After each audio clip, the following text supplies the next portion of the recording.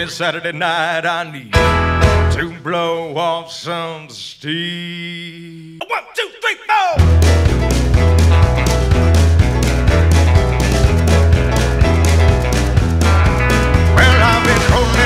o'clock in the morning.